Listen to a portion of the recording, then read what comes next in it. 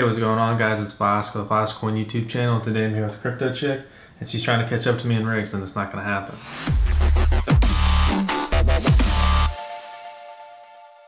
So today we're building a six card 1070 Ti mining rig. Unfortunately, one card's still in the mail, so it's technically gonna be five cards today. Alright guys, so today we're going to be using the bare bones frame from Parallel Miner. It's a really nice, readily available, plug and play pretty much frame. You can get it with a PSU and risers attached or just the bare minimum bones version, which is what we have today, which comes as just this frame skeleton, which is pretty cool because we take this top part and all you do is just push it down, it snaps right in here, creates a permanent frame fixture. Okay, so we're gonna have a full parts list below about every single thing we use in this uh, in this build. So, for example, the thermal paste we're using is the Arctic Silver. We're using just uh, these generic risers from Amazon, which we've gotten great results with. In addition, we have a uh, EVGA 1000 watt GQ um, for this build. I'm not a big fan of gold power supplies, but we've been getting some requests to do a build with a gold power supply. So here we are, and a thousand watts is gonna be ample for what we're doing today on this build because this is gonna be a very high efficiency 1070 Ti build, which is, you know, what the 1070 Ti's are good for. So if you don't know how to put a CPU in the board, you can check out the how to build a Zencash mining rig video. I go over every single aspect of a build in that. But basically, you're just gonna pop it in and then close the motherboard piece and then put the CPU fan on top and plug it into the uh, fan slot right here. And it's that simple. Same with the RAM. You're gonna put it on this outside slot and just push it in and the serial number on the is on the back of the RAM. Basically it goes towards the board and it's slotted so it can only go in correctly one way. And if you force it in the wrong way you'll probably break it so don't do that. Other than that you know you just have to screw in the motherboard. I know you can do it. We can do it. You can do it and then the uh, power switch is just going to go into the two red slots on this motherboard with the metal facing the majority of the board. So metal back faces the majority of the board is the easiest way to think about it. And now we're going to go ahead and just snap this frame in, put the risers on and get rocking. Alright guys, so we went ahead and we mounted the risers. Next up we've got to run the power to the risers, which are going to be supplying that power with PCIe cables.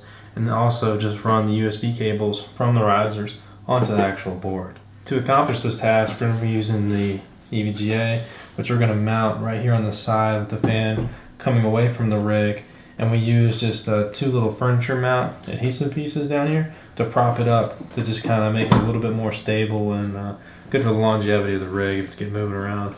All right guys, so we finally got all wired up. So we went ahead and reran the uh, PCIe risers, the power connections. So we are using a PCIe to SATA adapter. And with that, on the SATA connections, we're running two risers per SATA connection. And I know people like, oh, don't run it on SATA, whatever, whatever. Well, this is a really low power build, and Tails wants to be in the movie, so here she is. So with that said, it's gonna be no big deal to run SATA connection, in my opinion.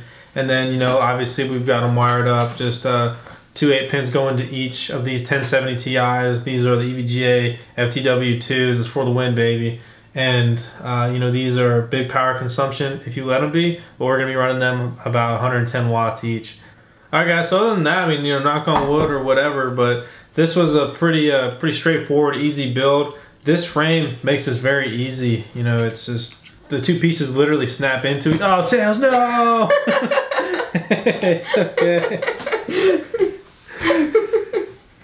So yeah it's a very straightforward and easy build especially if this is one of the first rigs you're to build it's, I mean, with the frame just snapping into each other and the risers have obvious places to bolt, the holes are pre-drilled out for you to just bolt your card onto.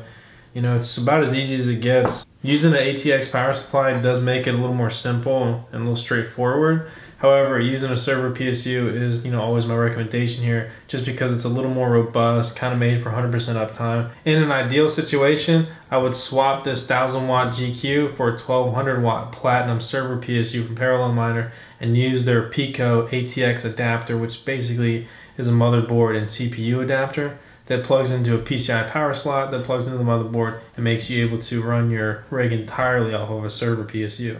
Alright guys, as you can see, we are up and mining away. We are using Simple Mining, which has detected the 1070 Ti's. It's not telling us what card it is, but it is detecting a NVIDIA card, which is all it really needs to do.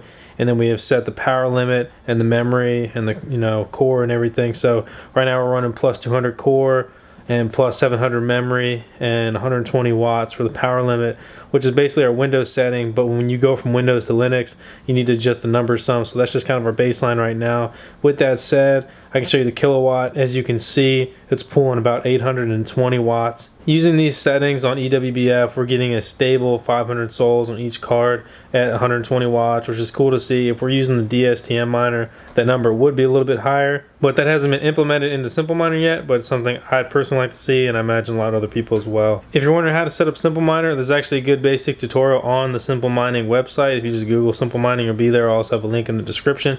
Very easy to do. You can do it. And we have a full parts list in the description below. If you have any questions that we didn't cover in this video, please let us know. And thanks for watching. We'll see you next time. Please subscribe. Alright guys, the sixth card is finally here. We are crushing 3,000 sols. And we haven't even fine-tuned the settings yet. Just using the base settings we said we used in the video.